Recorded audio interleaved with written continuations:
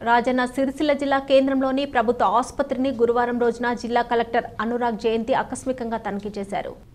దీనిలో భాగంగా ఆసుపత్రిలో జరుగుతున్న వ్యాక్సినేషన్ ప్రక్రియ గురించి సిబ్బందిని అడిగి తెలుసుకుని పరిశీలించారు.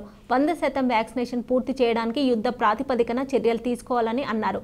కలెక్టర్ వెంట మండల వైద్యాధికారి డాక్టర్ మసూద్ అహ్మద్ ఏఎన్ఎంలు ఆశా వర్కర్లు ఉన్నారు.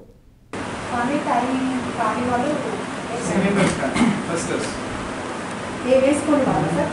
మీరు రెండో డోస్ చూపించారు ఎన్న చెప్తున్నారు హౌ ఆర్ యూ చెప్పి ఫోన్ తీసుకున్నాను సార్. ఒకసారి తీసుకుంటున్నాను దానివల్ల నన్ను ఫోన్ చేసిన అయితే నేను బయట వేసుకున్నాను.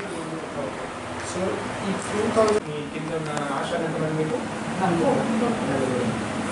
ఎక్కువ మంది కూడా లేదు ఫోర్ హండ్రెడ్ పర్సెంట్ ఓన్లీ గెలింగ్ సో ప్రతి ఆశకి హండ్రెడ్ మెంబర్స్ వెళ్ళితే వాళ్ళు బయట వేసుకుంటే వాళ్ళ సర్టిఫికేట్ ఉంటుంది కదా.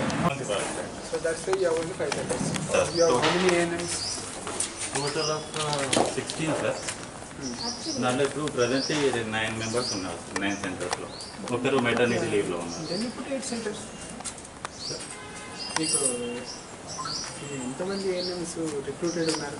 What of the sixteen sanction sir in post ఎంతమంది ఉన్నారు? ఇన్ పోస్ట్ ఇప్పుడు టోటల్ నైన్ ఉన్నారు సార్ ఉన్నారు. focus mode. Yes. Because if those variables are covered, Yeah. uh, it will have to report in Both of you should have yes, same, same, same report. Because otherwise it will be difficult to monitor. If you see, this is the